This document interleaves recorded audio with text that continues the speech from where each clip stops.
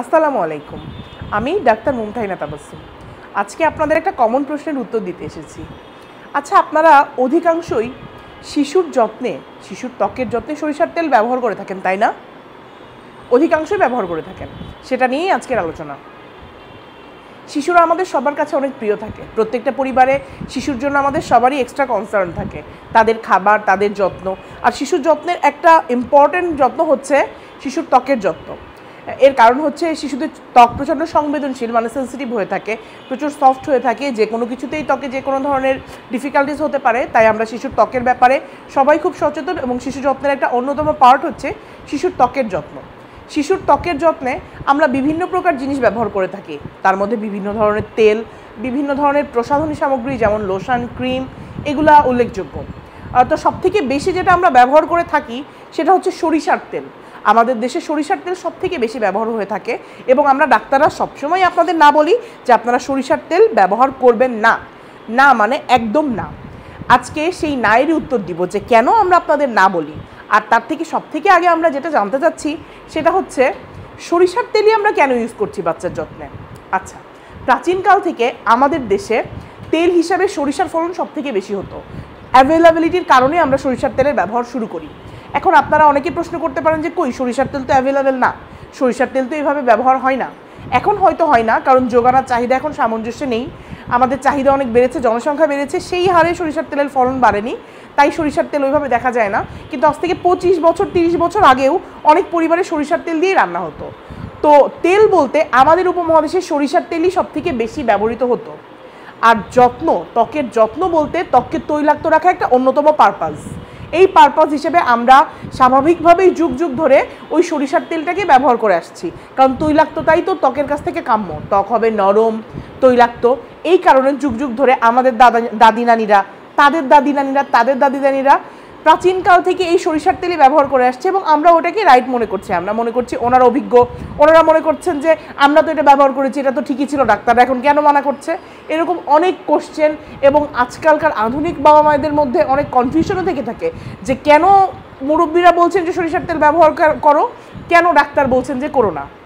আপনাদের কাছে এই উত্তরটা তো এখন এতক্ষণ অবশ্যই ক্লিয়ার হয়ে গেছে যে কেন মুরব্বীরা বলছেন, কারণ এটা পরম্পরা ধরে হয়ে আসছে সরিষার তেলের ব্যবহার, তাই ওনারা সরিষার তেলকেই প্রিফার করছে। এবার আমি আপনাদের মূল কোশ্চেনের উত্তরে চলে যাচ্ছি, যে কেন আপনারা সরিষার তেল ব্যবহার করবেন না? আপনারা নিশ্চয়ই খুব ভালো করে লক্ষ্য করেছেন যে অন্যান্য যে কোনো তেলের তুলনায় সরিষার তেলটা প্রচণ্ড ঘন, আঠালো মানে স্টিকি ধরনের, একটু চিটচিটে। এটাই হচ্ছে মূল কারণ সরিষার তেল ব্যবহার না করার। ঘন হওয়ার কারণে সরিষার তেলটা যখন আমরা বাচ্চার ত্বকে মাখছি, তখন এটা সম্পূর্ণরূপে ত্বক দ্বারা শোষিত হচ্ছে না মানে অ্যাবজর্ব হচ্ছে না। বাইরের দিকে তেল চিটচিটে একটা ভাব রয়ে যাচ্ছে। আর যেহেতু বাইরের দিকে একটা আবরণ রয়ে যাচ্ছে এবং জিনিসটা আঠালো মানে স্টিকি তখন বাইরের ধুলো, ময়লা যেখান থেকে আসছে, আপনাদের হয়তো অনেকে বলতে পারেন যে আমরা তো বাচ্চাকে পরিষ্কার পরিবেশে রাখি, ঘরের বাইরে বের করি না। বাট ধুলা আমাদের পরিবেশের সব জায়গাতেই আছে। ওই ধুলাই যাচ্ছে বাচ্চার গায়ে। ধুলাটা যেয়ে তখন এই তেলের সঙ্গে একটা লেয়ার তৈরি করে ফেলছে আর আটকে দিচ্ছে লোমকূপগুলোকে অনেকেই দেখবেন বলবে যে সরিষার তেল ব্যবহার করলে কালো হয়ে যায়। এই ময়লাটা জমার ফলেই শিশু কালো হয়ে যায়। আর সব থেকে যেটা অপকার হয় সেটা হচ্ছে সরিষার তেল এই আঠালো তেলের সাথে যখন ধুলাটা আটকে যায়, তখন লোমকূপের গোড়াগুলো বন্ধ হয়ে যায়। লোমকূপের গোড়া যখন বন্ধ হয়ে যায়, তখন কোষগুলোর মধ্যে ভালো মতো বাতাস চলাচল করতে পারে না, কোষগুলো ভালো মতো অক্সিজেন পায় না, তখন কোষের ড্যামেজ তৈরি হয়। আর এই কারণেই এটাই হচ্ছে মূল কারণ যে সরিষার তেল আমাদের ত্বকের জন্য ক্ষতিকর। আমি আশা রাখছি আমাদের, আমি আপনাদের একটু হলেও উপকার করতে পেরেছি এবং আপনাদের কাছে এই জিনিসটা ক্লারিফাই করতে পেরেছি যে কেন আমরা সরিষার তেল ব্যবহার করব না। এখন আপনাদের অনেকেরই কোশ্চেন হবে যে আচ্ছা সরিষার তেল যেহেতু ব্যবহার করব না, তাহলে শিশুর ত্বকের যত্নে আমরা কি ব্যবহার করব। শিশুর ত্বকের যত্নে সরিষার তেল ছাড়াও আমাদের কাছে আরও অনেক অপশান আছে।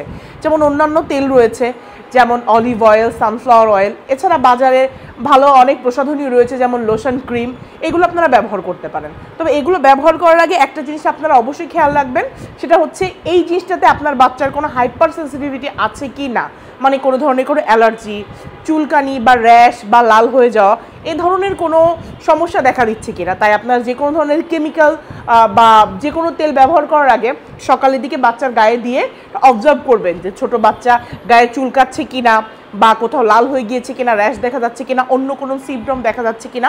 এটা সারাদিন ধরে আপনারা খেয়াল করে যেটা আপনাদের টেস্ট পাস করবে মানে যেটাতে আপনার বাচ্চার কোনো ধরনের ড্রব্যাক হবে না, কোনো ধরনের কোনো প্রবলেম হবে না, আপনারা সেই প্রোডাক্টটা ইউজ করতে পারেন। এমনকি অলিভ অয়েলেরও অনেকের এক্সিমা হয়ে থাকে এক্সিমার জন্য চুলকানি হয়, এ ধরনের হতে থাকে। তো আপনারা অলিভ অয়েল ইউজ করেন বা অন্যান্য লোশন ক্রিম যেটা ইউজ করেন, সেটা একবার টেস্ট করে আপনারা সেটা ইউজ করেন, সেটা অনেক বেটার অপশন আমি আশা করছি এবং আপনাদের কাছে অনুরোধ করছি যে আপনারা সরিষার তেলের বদলে অন্য কিছু ব্যবহার করেন। ভালো থাকবেন।